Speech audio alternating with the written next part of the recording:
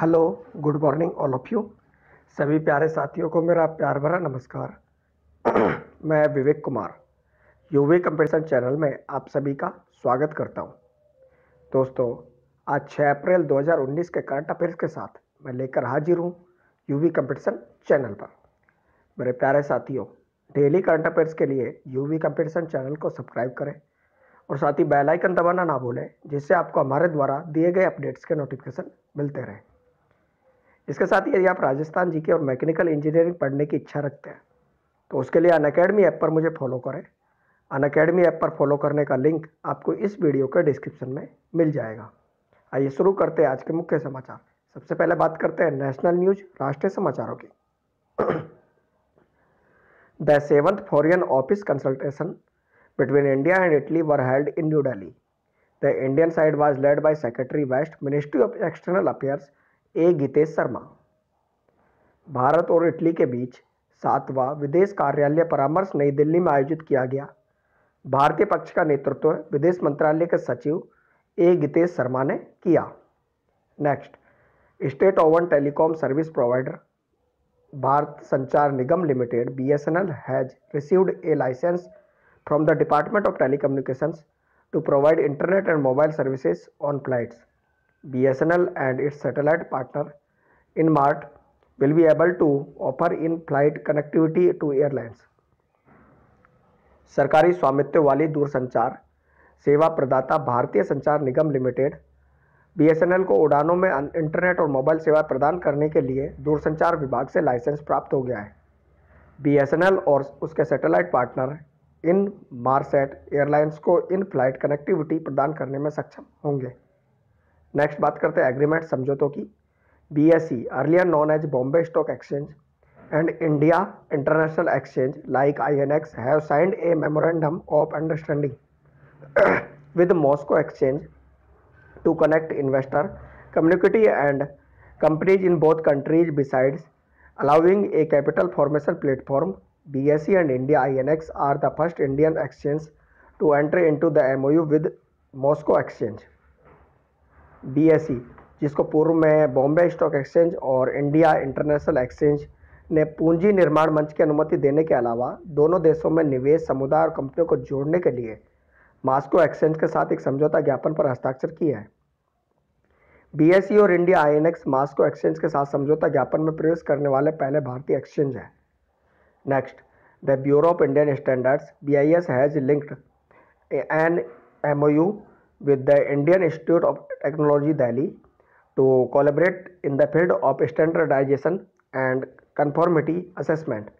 According to the MOU, IIT Delhi will provide infrastructure support for research and development projects for relevance to standardization and BIS will provide financial support to IIT Delhi for projects.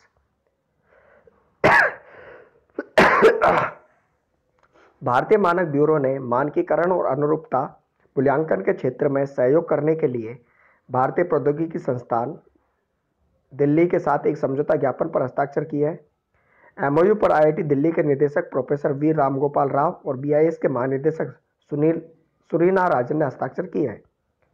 Next India as signed and M O with the national bank of agriculture and rural development consultancy services for setting up the India Africa institute of agriculture and rural development in Malawi a land locked country in south eastern Africa Bharat ने दक्षिण पूर्वी Africa के एक स्थल सीमा देश Malawi में Bharat Africa कृषि और ग्रामीण विकास संस्थान की स्थापना के लिए national bank for agriculture and rural development consultancy service के साथ एक समझौता ज्ञापन पर हस्ताक्षर किए हैं नेक्स्ट बात करते हैं अपॉइंटमेंट्स नियुक्ति की C S Rajan has been appointed managing director while Vineet Nair as Executive Vice Chairman of Infrastructure, Leasing and Financial Services. Rest of the new board com comprises of Vijay Kumar as the Deputy Managing Director and GC Chaturvedi, Nandikishore, Malini Shankar and N. Srinivasan, Srinivasan as non-executive directors. Infrastructure leasing and financial services में C S राजन को प्रबंध निदेशक नियुक्त किया गया है जबकि विनीत नैयर को कार्यकारी उपाध्यक्ष के रूप में नामित किया गया है शेष नए बोर्ड में उप निदेशक के उप प्रबंधक निदेशक के रूप में विजय कुमार और गैर कार्यकारी निदेशक के रूप में जीसी चतुर्वेदी नंदकिशोर मालिनी शंकर और एन श्रीनिवासन शामिल हैं। नेक्स्ट बात करते हैं बैंकिंग बिज़नेस और इकोनॉमिक न्यूज़ बैंकिंग व्यापार और अर्थव्यवस्था समाचारों की। The security and exchange board of India SEBI has given approval to Paytm money the investment and wealth management platform of the mobile payments company to start offering broking services भारतीय प्रतिभूति और विनिमय board ने Paytm money को broking सेवा की पेशकश शुरू करने के लिए मोबाइल भुगतान कंपनी के निवेश और धन प्रबंधन मंच को मंजूरी दे दी है। Next Karnataka bank has entered into an MOU with Bharatiya AXA life insurance company to distribute the latter's life insurance products Karnataka bank ने बाद के जीवन बीमा उत्पादों को उत्पाद वितरित करने के लिए भारतीय एक्सा लाइफ इंश्योरेंस कंपनी के साथ एक समझौता ज्ञापन किया है। Next in a bid to further improve the cash position of banks, RBI has tweaked liquidity coverage ratio norms to provide an additional 2% window to lender.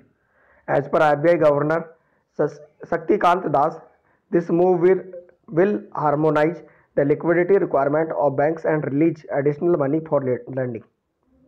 बैंकों की नकदी की स्थिति को और बेहतर बनाने के लिए आरबीआई ने उधारदाताओं को अतिरिक्त दो प्रतिशत विंडो प्रदान करने के लिए तरलता कवरेज अनुपात एलसीआर मानदंडों को बदल दिया है next rating agency Fitch retain India sovereign rating at B B B the lowest investment grade with a stable outlook for the thirteen straight year Fitch expects growth of 6.8 percent in current fiscal 1920 and 7.1 percent in the next fiscal 2021 rating agency Fitch ने भारत के BBB पर संपूर्व की rating को बनाए रखा है। इसके सबसे कम निवेश ग्रेड है, जिसमें सीधे तेरहवें वर्ष के लिए स्थिर दृष्टिकोण है।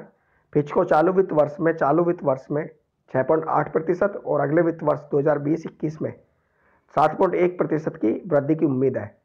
तो मेरे प्यारे साथियों, ये थे आज का मुख्य समाचार, जो कि आपका करंट अफेयर्स है सभी एग्ज़ाम्स के लिए इंपॉर्टेंट है। तो please like comment share and subscribe UV competition channel and also follow me on academy Instagram and Facebook thank you so much धन्यवाद। आपका दिन शुभ हो।